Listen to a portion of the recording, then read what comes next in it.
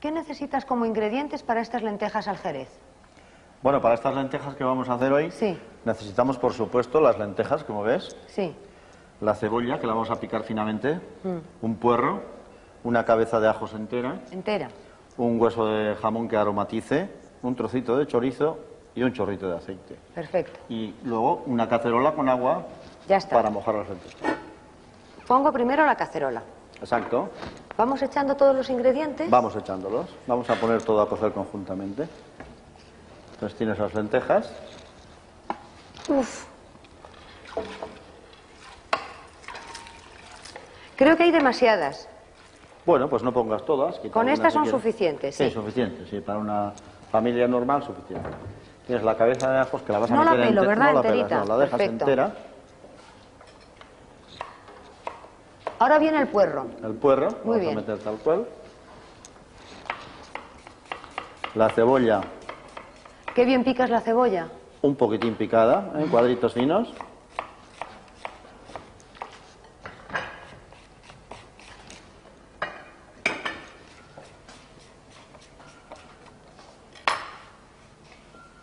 Entonces toda esta cebolla interviene desde el primer momento en el cocimiento. Desde el primer Muy momento. bien. ¿Qué más? El hueso de jamón, Hueso de jamón. Chorizo, no demasiado para que no se pongan muy rojas, ¿no? no, un trozo de chorizo Estupendo. ¿Ya tenemos todo? y un chorrito de aceite. ¿No pones ningún aromático? Hierba de algún tipo. Bueno, se puede poner algún aromático, una hojita de laurel. En fin, Sí. a vosotros os gusta. Nosotros generalmente somos poco pues amigos de entonces, los... haz exactamente como tú hagas siempre. Sí, no nos gusta cargar mucho de especie porque creemos que desvirtúa el exceso, aunque en este caso concreto, bien le puedes añadir si tú quieres un trocito de, de hoja de laurel, pero yo siempre en cantidades muy pequeñas, apenas que se perciba. Bueno, entonces tenemos todo a cocer y ahora seguramente tenemos que preparar el sofrito, aunque no lo echemos ahora. Por para supuesto, después. dejamos cocer las lentejas. Muy bien, perfecto. Cuando falte 20 minutos para que terminen de cocer, añadiremos las patatas cortadas en trozos normales. Sí. Y por último, ya casi al terminar, 10 minutos antes de servir a la mesa, le haremos el sofrito. Sí. Y entonces te parece que, por ejemplo, de este caldo que ya hemos hecho y por eso es un fondo que nos va a servir, pongamos ahora dos cazos o lo hacemos cuando ya haya perdido un poco de agua.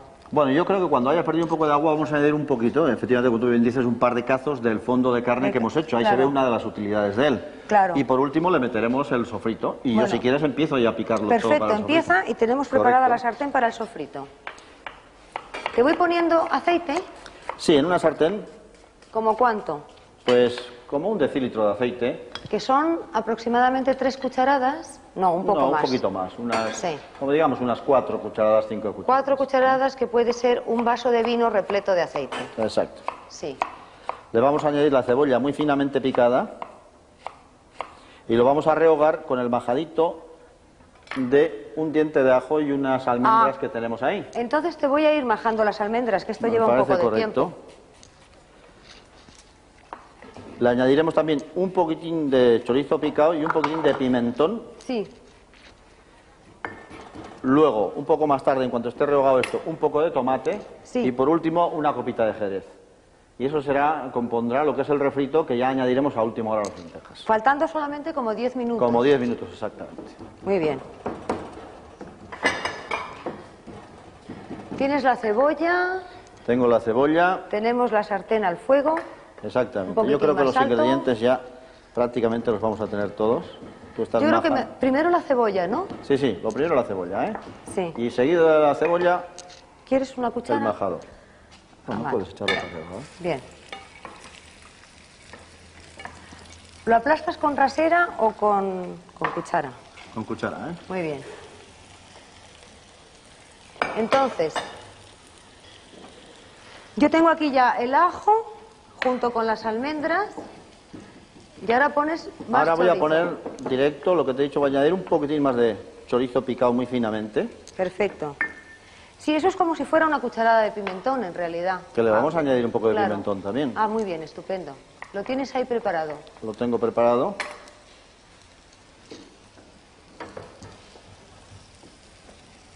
Añado ya Tú el si quieres hacer esto que yo voy Ya, haciendo el sigues sí.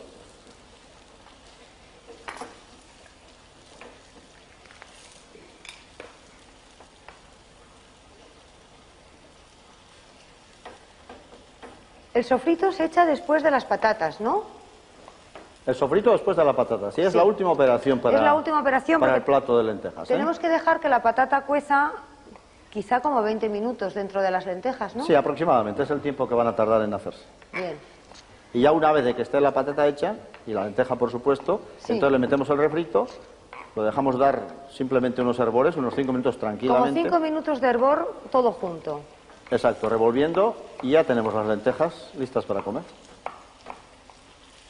A ver ese tomate. Es Enseguida. un poco difícil. No, es un tomate fresco que es cortado en demasiado pequeños fresco. cuadritos. ¿Le has metido el majao? No, lo voy a echar ahora. Pues ahora, meter el- las almendras Con el y ajo, picado. La almendra tiene la propiedad que enseguida espesa la salsa, ¿eh? Sí, Como enseguida. tiene mucha harina, ella de por sí.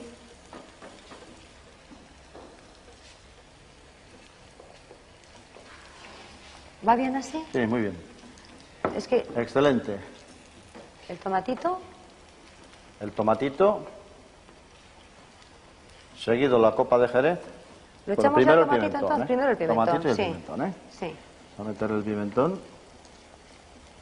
Como Pimentón aproximadamente. dulce, por supuesto, Sí. ¿eh? No, Porque si si no no, nos picaría demasiado. con esta cantidad quedaría muy picante. Ahora el tomate.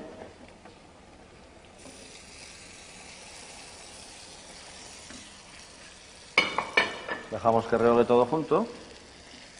No sé si he estado un poco roñosa en el empleo de esta sartén, que es un poco chica.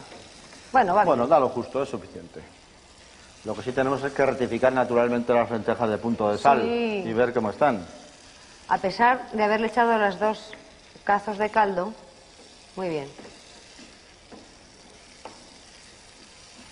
Pero eso siempre más bien a última hora para que no nos salga demasiado salado. ¿eh? Yo creo que este sofrito podríamos dejarlo ya apartado, no se nos vaya a arrebatar mucho.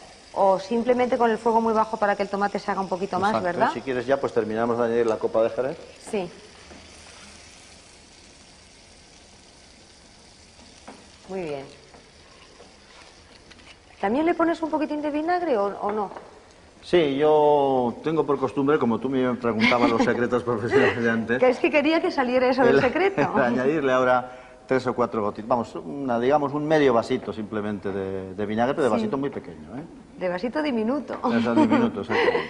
Bueno, pues yo creo que subimos el fuego y casi, casi podemos poner ya el vinagre.